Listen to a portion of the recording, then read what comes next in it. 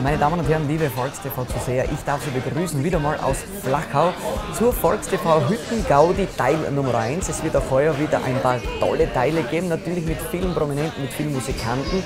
Und apropos Musikanten, dieser heutige Tag, der steht im Zeichen der vielen, vielen Musiker. Wir haben Gäste aus der Steiermark eingeladen, wir haben Gäste aus Tirol für Sie mit dabei und vieles, vieles mehr. Den ersten Gast, meine Damen und Herren, den darf ich jetzt gleich begrüßen. Das ist der Florian Bloder, das ist der Bruder von unserer lieben Clara. Ja, sind gleich hübsch, sind gleich sympathisch. Danke, Dani. Äh, Florian, wir kennen uns schon ein bisschen länger. Hier in Flachau bist du ja auch des Öfteren zu sehen, äh, bist ja beruflich sehr viel unterwegs in der Gegend. Wir sind beruflich sehr viel unterwegs. Danke, dass ich mit dir heute da sein darf. Es ist ein riesiger Spaß und wir sind gern auf den Skipisten unterwegs. Wir sind aber beruflich unterwegs. Wir sind mit dem Ski-Weltcup unterwegs. Ähm, wir machen die ganze Veranstaltungstechnik da, Ton, Licht und Bühne. Und auf, auf der Bühne stehen wir auch hier und da. Das Ja, passt ganz gut. mitbekommen, also das Ganze im Prinzip spielt sich bei dir in der musikalischen Szene ab, aber man muss das jetzt zweiteilen. Gell? Einerseits bist du ein aktiver Musiker bei Freeze Up, die kennen wir natürlich, diese tolle Gruppe, die wir gleich hören. Und andererseits hast du eine ganz interessante Firma mit einem Kollegen von dir, mit Bernischer Vetter, äh, BS Event Consulting. Äh, was läuft da ganz genau ab in dieser Firma? Ähm, die PS Event Consulting, äh, wir sind Dienstleister für äh, Veranstaltungstechnik. Wir starten verschiedene Events aus, sei es Tontechnik, Lichttechnik, äh, Videowalls, auch Dekoration oder ähm, Zelte, was auch immer, große Bühnen. Von uns man im Prinzip alles aus einer Hand haben und das macht uns Spaß. Wir betreuen den Skiweltcup, wir sind auch bei diversen Firmen, Firmenfeiern unterwegs und das ist unser Hobby und auch unser Beruf und das ist gut so und macht uns richtig Spaß. Wunderbar, also du sprichst das an, ein Skiweltcup zum Beispiel, wenn er zu Gast ist in Altenmarkt Zaubensee, äh, da stellt sie alles auf, was dann die Siegerehrung betrifft, die Startnummernverlosung, da macht sie alles, Genau, also- damit auch die Stars dann im richtigen Moment auf die Bühne können und, und im Licht dann Genau. erscheinen, die großen Stars. Ja, wir haben die Bühnen da in, in Flachau war der große Nachtslalom. Stimmt, ja. Da haben wir das Rahmenprogramm gemacht und äh, auch die Künstler sind von uns teilweise mitgekommen und im Zaubersee Altenmarkt, das war das große Rennen, das hat heuer ein bisschen mit dem Schnee und ein bisschen einen Strich durch die Rechnung gemacht, aber es ist trotzdem gut gegangen und da sind wir auch für die Pistenbeschallung und diverse Kleinigkeiten zuständig. Also meine Damen und Herren, wenn Sie mal eine Veranstaltung haben, da sind die Profis am Werk. Jetzt pass auf, jetzt kommen wir noch einmal zur Musik. Freeze Up hören wir gleich hier zu Beginn unserer heutigen Sendung. Äh, Auch da geht es ziemlich rund, ihr seid viel unterwegs. Äh, Die Ballsaison sehr gut gebucht, passt alles. Die Ballsaison ist sehr gut gebucht. Wir sind spezialisiert auf, auf die ganzen Tänze, sei es Cha-Cha, Jive, Slowfox, Tango, was auch immer. Und das macht uns auch großen Spaß, dass wir im Prinzip auch viele Bälle spielen und im Sommer die ganzen Feste. Also wir sind fleißig unterwegs auf der Bühne und das uns. Mach weiter so, bleib vor allem gesund, das ist das Wichtigste. ist das Wichtigste. Äh, ich würde sagen, einen schönen Tag haben wir vor uns, meine Damen und Herren. Sie natürlich auch, Sie bleiben dran. Das ist eben jetzt der Florian Bloder gewesen von der Gruppe Freeze Up und BS Event Consulting. Jetzt hören wir Sie natürlich auch singen mit dem Titel Frech und mit viel Herz. Passt irgendwie zu uns, oder? So wie wir zwei. Ja, genau so ist das. Und Sie bleiben dran, denn dann gibt es gleich den nächsten musikalischen Gast. Bis gleich.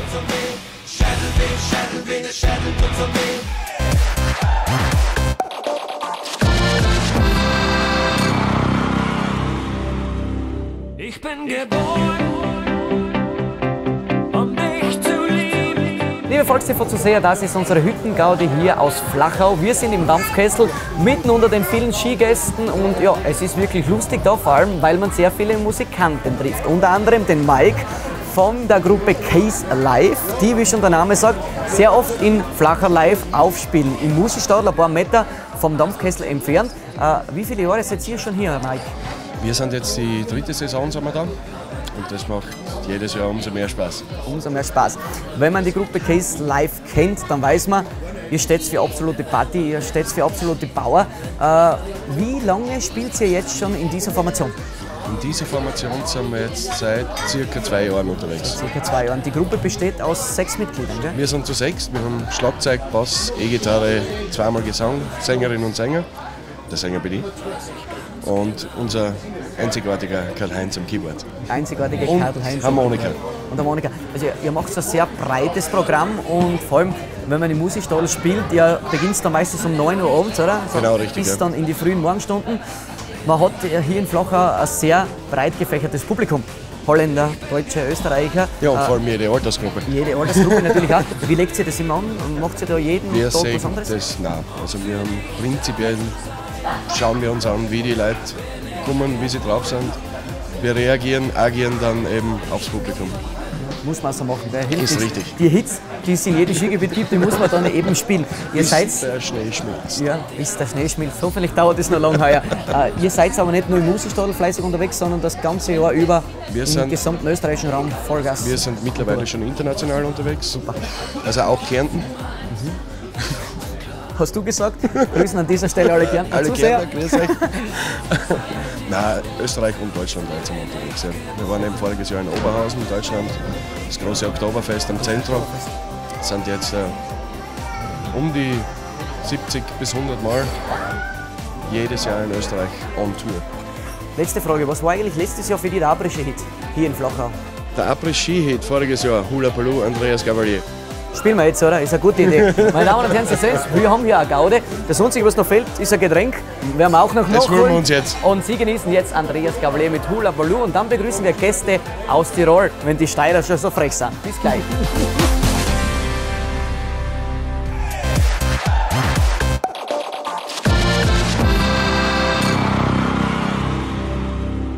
Die Sperrstunde war nah, für uns beide war es sofort klar.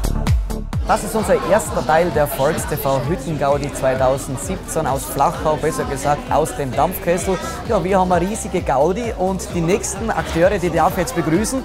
Zum ersten Mal, meine Damen und Herren, auf Volkstv aus dem Tiroler Land, die bärigen Tiroler. Ist richtig. Zuerst einmal So grüß euch Jungs, äh, bärigen Tiroler, seit wann gibt es euch schon?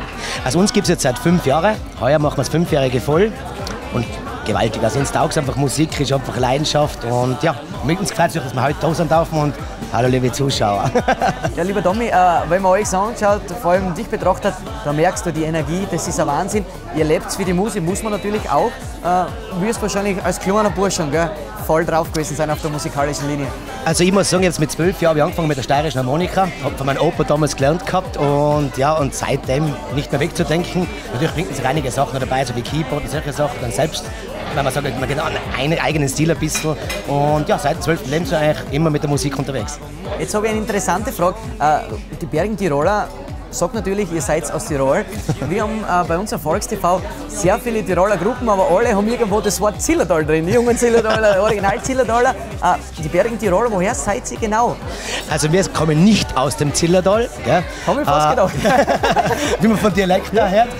Äh, wir sind Umgebung Wattens. Wattens. Ah, okay. Also alle im Umkreis von Umgebung Wattens sind wir. Sehr gut, sehr gut. Aber nichtsdestotrotz oft in den Bergen unterwegs, was natürlich auch die Auftritte verlangen. Äh, ihr spielt hauptsächlich in Österreich. Ja, es geht schon über die Grenzen raus, jetzt auch, so wie Schweiz, Holland oder so, und Deutschland. Und natürlich ist auch unser Ziel immer noch die Grenzen hinausschauen, bis schauen, okay, was macht man. Nur Tirol alleinig, okay, ist eigentlich, eigentlich haben wir schon fast alles niedergespielt in ganz Tirol. Ja, aber ist ja auch ein gutes Zeichen, wenn Sie immer wieder gefragt seid. Das ist ja ganz, ganz wichtig. Du bist der Bandleader, der sozusagen auch wahrscheinlich auf der Bühne dann die Moderation über hat. Genau, ich führe ein bisschen durch den Abend durch, also Bandleader nennt einfach der Bruder und ich. Wir haben gemeinsam die Band Tiroler gegründet und wir sind ja vier Personen. Einen habe ich neben mir hocken. Ganz interessante Und, Person. Ja, zu dem kommen wir, glaube ich, noch später noch. gleich. Und ich muss einfach sagen, äh, ja, es taugt uns einfach und gesagt, wir müssen etwas machen in dieser Musikbranche. Einfach sagen, wir möchten Volksmusik, Schlager, Pop, Rock, wir machen ACDs-Nummern, alles, also für alle Sachen offen. Jetzt kommen wir gleich zum neuen Mitglied, zum Sepp. Äh, seit wenigen Tagen gibt es euch jetzt in dieser Formation. Der erste Stimmt, genau. Auftritt, äh, der war vor ein paar Tagen. Ja. Äh, du bist ein musikalisches Höchsttalent, darf ich jetzt mal sagen. Naja. äh, man weiß das aus Fachkreisen. Okay. Äh, aber nichtsdestotrotz voll motiviert jetzt mit der neuen Natürlich. Aufgabe, oder? Super. Volle. Bin begeistert und habe äh, hab die Jungs kennengelernt durch Zufall und wie man halt durchs Reden oft zusammenkommt und das hat von Haus aus gepasst. Welche Instrumente spielst du jetzt bei Äh, den Bären- bei den? Bering Tirolern bin ich eigentlich am Bass und am Gesang im Einsatz. Bass und Gesang im Ja. Einsatz. Ihr spielt ja ein äh, sehr breites äh, Mhm. Von der Volksmusik, von der Flotten, gell? nicht Vergleich mit der Oberkreismusik, sondern von der fetzigen Volksmusik Ja, genau. bis hin zu den modernsten Titeln, die in den Charts sind, habt ihr Mhm. alles mit dabei. Wo liegt da deine Favoritenliste? Meine Favoritenliste. äh, ich sag, es, mein Spruch ist immer, es gibt keine schlechte Musikrichtung. Es gibt nur gute Interpreten oder weniger gute. Also ich bin überall zu Hause.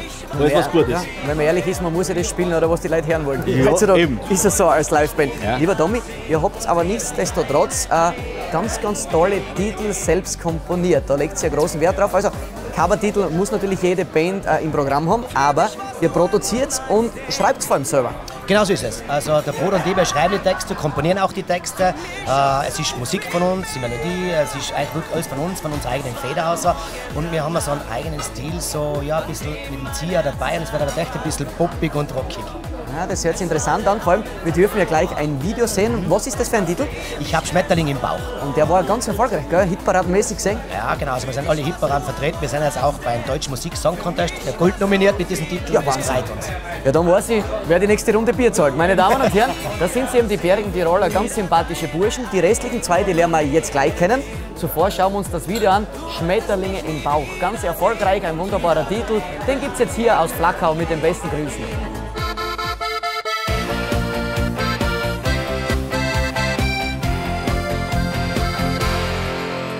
Den ersten Tag vergiss ich nie.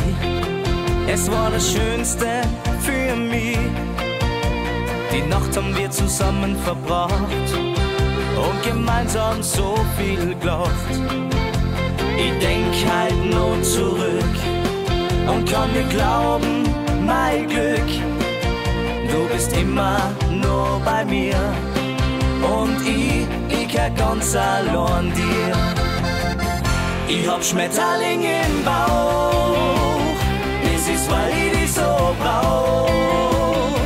Allein der Gedanke an die sagt mir, wir lieben die hoch. In der Früh geht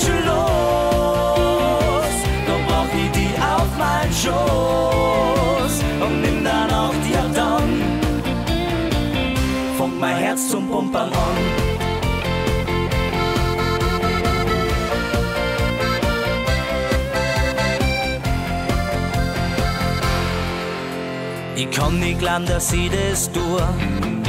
Ich hab Angst wie ein kleiner Bur. Den Ring hab ich schon daheim. Denn mein Herz hab ich an die verloren. Jetzt ist er endlich da, der Tag.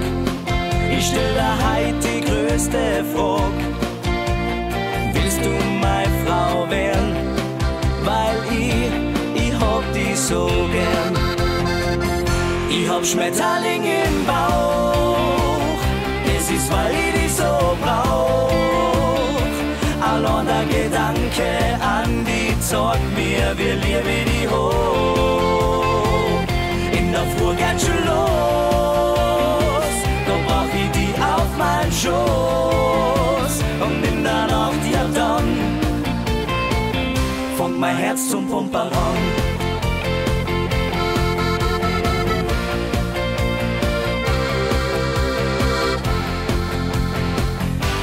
hab Schmetterling im Bauch, das ist, weil ich dich so brauch. Allein der Gedanke an die sagt mir, wir lieben die hoch. In der Früh geht schon los, da brauch ich die auf mein Schoß. Und in der Nacht, ja dann, fängt mein Herz zum Pumpern an.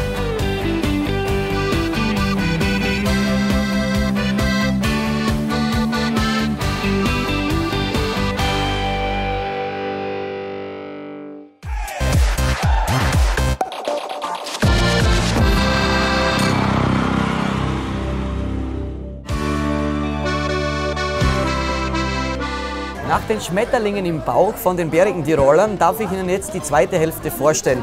Das ist der Patrick und der Robert. Meine Herrschaften, freut mich, dass wir uns einmal kennenlernen. Äh, Ich habe jetzt schon erfahren, du und dein Bruder, äh, ihr tut sehr viel komponieren. Habt ihr auch diesen äh, Song selber geschrieben?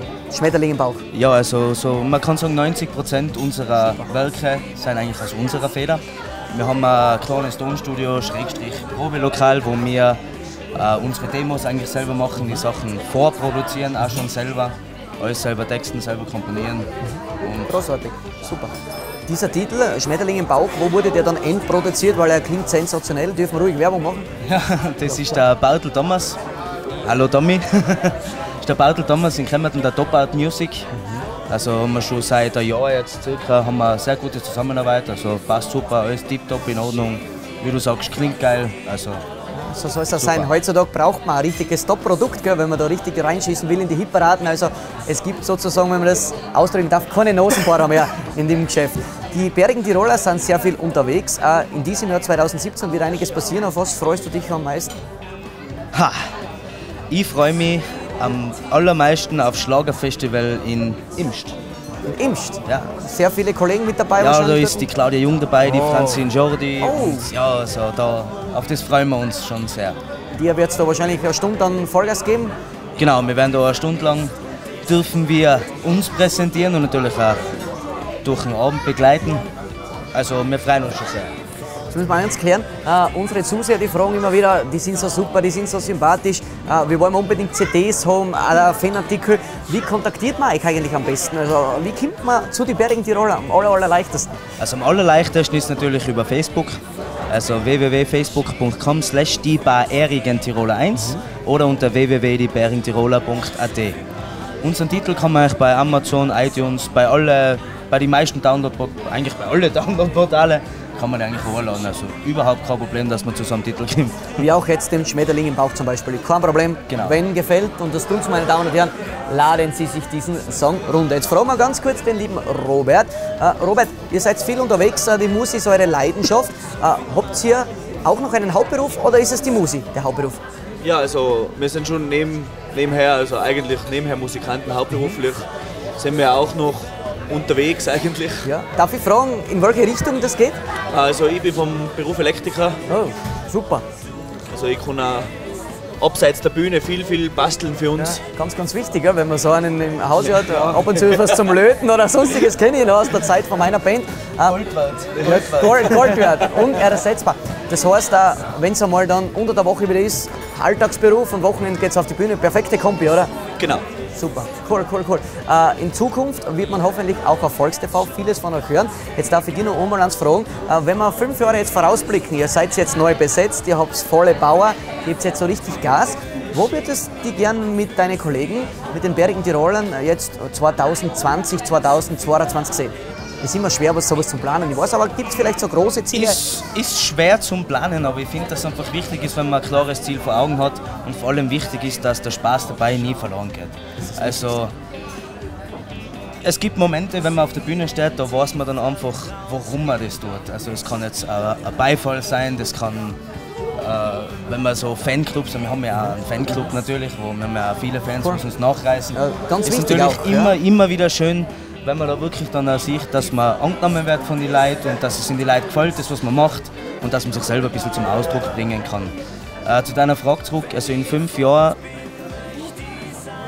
würde ich gern haben, dass die Leute nur wegen uns auch auf ein Konzert kommen, wo auch nur wir spielen und auch nur mit eigenen Sachen. Wollte ich gerade sagen? Das Genau, und äh, wir haben einfach das Ziel, wir tun uns sehr, sehr wenig eigentlich bei unseren Titeln mit aktuellen Themen beschäftigen, weil wir sagen, wir möchten Musik für die Ewigkeit schreiben und,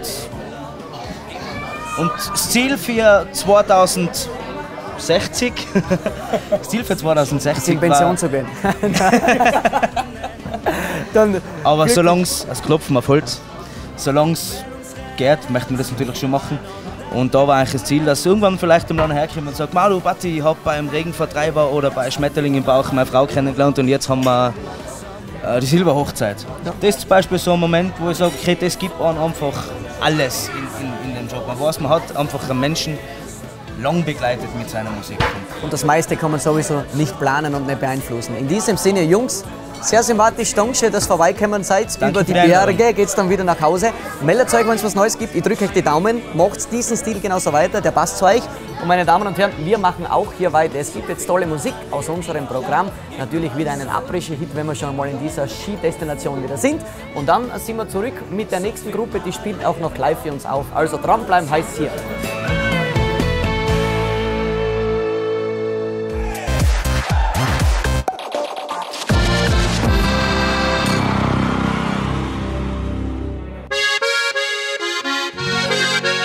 Das ist sie, unsere Volkstv Hüttengaudi aus Flachau, meine Damen und Herren, heute mit vielen, vielen musikalischen Gästen.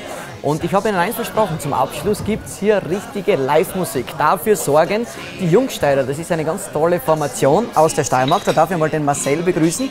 Lieber Marcel, wir freuen uns, dass wir jetzt ein bisschen unseren Zusehern die Jungsteirer präsentieren dürfen. Zuerst mal eine Frage, woher seid ihr denn genau? Ja, grundsätzlich, ich komme aus Hitzendorf in der Nähe, aus Mancha. Der Harald, unser Harmoniespieler, mein Kollege, der kommt aus Übelbach. Ja. Und unser Dritter, der kommt aus Gratwein grundsätzlich. Und wir sind eigentlich grundsätzlich im Umkreis von Graz Umgebung meistens unterwegs. Und ja, Super. Ah, ja, in den nächsten Jahren kann es natürlich dann auch auswärts immer wieder mehr werden, ob es Deutschland ist, ob es die Schweiz ist. Also ihr seid ja eine relativ junge Formation. Wie viele Jahre seid ihr jetzt schon als Trio unterwegs? wir sind jetzt seit Anfang 2015 sind wir unterwegs. Der Harald und ich kennen uns eigentlich schon länger vom Trachtenverein und so. Und dann haben wir immer so ein bisschen hin und her gespielt, haben wir gesagt, du pass auf, kann halt was werden, probieren wir, schauen wir, was da wird. Probieren wir mal. Und dann spielen wir Ja, immer so mehr. haben ganz große Karrieren begonnen. Zum Beispiel bei den Edelsehern war es auch so. Die haben sich gekannt äh, und haben gesagt, ja, wir spielen mal Glas zusammen, machen wir was. Gell? Edelseher Trios haben es begonnen. Äh, Ja, sehr coole Idee. Und habt es zu zweit begonnen und jetzt sozusagen aufgestockt. Ja, wir sind, haben zu zweit begonnen und dann haben wir geschaut, dass wir dann Gitarristen dazu kriegen. Das hat sich mit der Zeit dann ergeben. Die Anfragen sind reingekommen, wir haben gesagt, ja passt, gern. Und dann haben wir gesagt, wir wollen einfach einen dritten, dass wir wirklich als Trio darstellen. Was für Musik machen jetzt die Jungsteirer? Wie kann man das am besten beschreiben? Ja, wir machen grundsätzlich also Volksmusik, Obergreiner.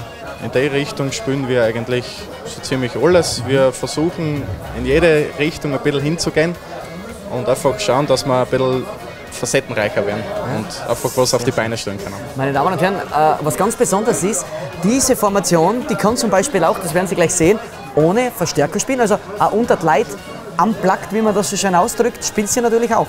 Und gerne. Ja, genau. Unplugged, das ist, spielen wir momentan nur. Es ist einfach gemütlich hinkommen, wo auspacken, ausspielen. Das ist einfach eine Freude von den Musikanten und das ist einfach das Nonplusultra. Wie ich immer sage dazu, mir taugt das einfach irgendwo hinkommen, ausspielen und die Leute begeistern wollen. Das ist einfach super. Mir taugt. Hast du spezielle musikalische Vorbilder jetzt, was das Trio anbelangt oder was die gesamte Volksmusikszene anbelangt? Ja, Trio anbelangt, sage ich einmal weniger, aber spezielle Vorbilder, sage ich einmal, Edelseer natürlich eine super Musikgruppe, super Leute, menschlich geblieben, Grafen natürlich auch, die haben also- sehr Ding gemacht, taugt mir natürlich auch voll. Musikalisch, technisch bin ich allgemein sehr interessiert und so und das, ja, Flotten Steirer Day, muss ich sagen, da habe ich Bariton spielen gelernt. Oh ja, Hecki. wirklich wahr? Ja. Vom das vom ist- Janscha. Ja, genau. Ja, super. Das sind halt auch solche also Kollegen, Freunde. Das ist einfach der Zusammenhalt unter Musikanten, muss ich sagen, das wird immer super. Und das hat mich auch immer gestärkt auf meinem Weg sozusagen. Ja. Das heißt, es war eigentlich immer ein Wunsch von dir, oder? Einmal mit einer richtig offiziellen Gruppe auf die Bühne gehen zu dürfen und dann eben die Leute zu begeistern. Meine Damen und Herren, mir ist es nämlich immer ganz, ganz wichtig, dass man auch junge Formationen ins rechte Licht äh, ja, da rückt. Und ihr habt es euch verdient. Die letzte Frage, bevor wir dann den Harald kennenlernen dürfen. Wie kann man euch am besten erreichen? Wenn man jetzt sagt, ich habe ein Fest daheim, äh, fesche Buben seid, ihr spielt gut, ihr habt eine große Begeisterung.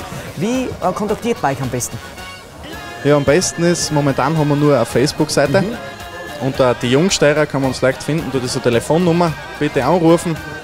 Das ist der einfachste Weg eigentlich momentan noch. Wunderbar. Dann wünsche ich dir alles Gute auf deinem Ja, weiteren danke. Weg. Bleib so wie es bist, bleib gesund. Und da sehen wir uns sicher das ein oder andere Mal auf den Bühnen oder sonst bei uns im Studio. Meine Damen und Herren, jetzt gibt es einmal für Sie noch einen tollen Titel. Ich würde vorschlagen, wir hören uns die Edelseher an, oder? Das passt ganz gut. Edelseher, tolle Kollegen von uns, die hören Sie jetzt bei uns im Programm. Und dann sind wir wieder zurück und dann gibt es gleich die Live-Musik.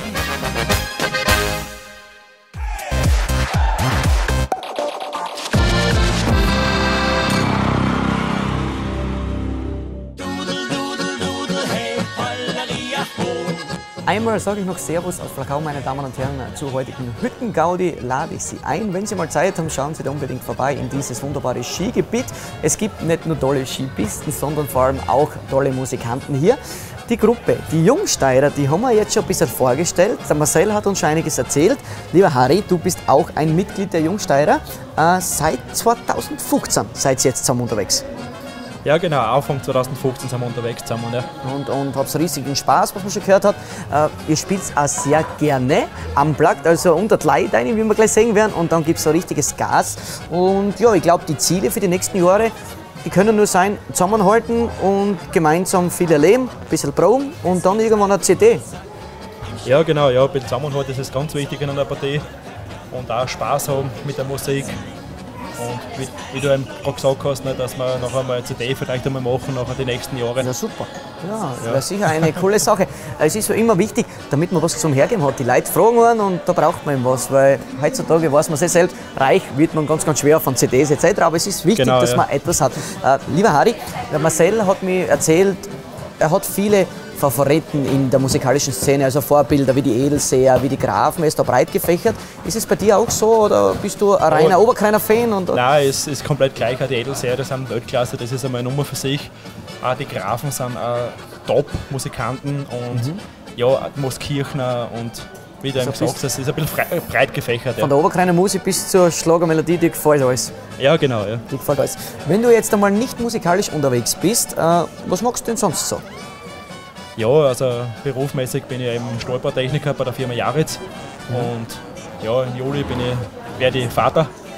Das ist was Am ganz 11. Schönes. Juli ist Termin. Ja. 11. Und- Juli. Ja. Hoffentlich noch kein Live-Termin mit den Jungsteirern, oder? Ist da schon irgendwas Nein, ist geplant? noch nichts kollidiert, Gott sei Dank. ja. Freihalten, ganz, ganz wichtig. Genau, ja. Und ja, ansonsten wahrscheinlich auch immer wieder mit der Familie, mit der größeren Familie dann ein paar Reisen unternehmen. Wir durften, meine Damen und Herren, schon gemeinsam in Kroatien ein paar wunderbare Tage verbringen mit den Granaten, mit dem Baggerboot. genau, ja. Die Musiker halten zusammen, das ist das Aller, Allerwichtigste.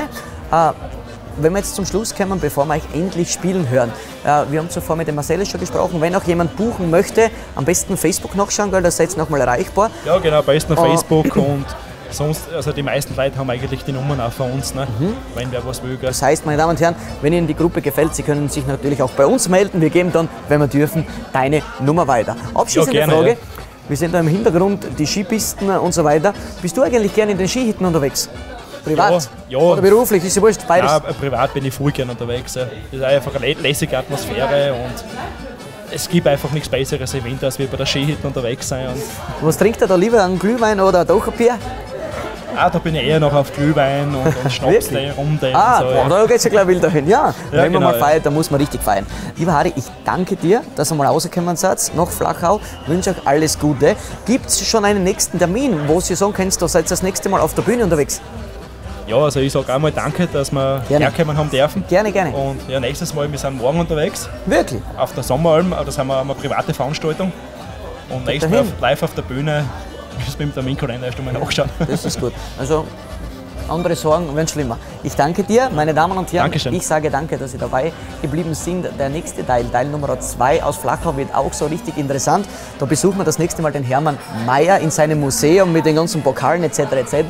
Und ich wünsche Ihnen jetzt viel Spaß mit absoluten Live-Klängen hier aus dem Dampfkessel mit den Jungsteirern. Also, auf ihn mit der Harmonie und los geht's. Danke fürs Zusehen. Dankeschön, danke, für euch.